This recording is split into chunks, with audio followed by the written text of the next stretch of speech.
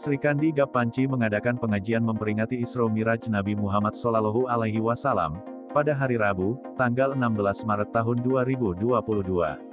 Kegiatan pengajian tersebut dihadiri oleh Ketua Sri Kandi Gap Panci Trisna Amelia, bersama warga pedagang pantai wisata Katapang Condong Citepus Palabuan Ratu Sukabumi.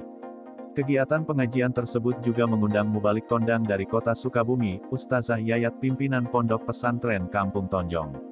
Selain itu hadir juga Kepala Desa Citepus Koswara dan jajaran, Kadus 1 Citepus Buldan Syah, Ketua Karang Taruna Desa Citepus, Asep Ruhyat Ketua LPMD Desa Citepus atau Ketua GAP Panci, Dede Samsugandi, dan anggota, RT, RW, tokoh masyarakat, dan warga sekitar. Acara Isra Miraj Nabi Muhammad berjalan lancar dan menerapkan protokol kesehatan dengan sangat ketat. Dari Kabupaten Sukabumi Provinsi Jawa Barat, reporter Jubir TV, Odon Sukirman, melaporkan.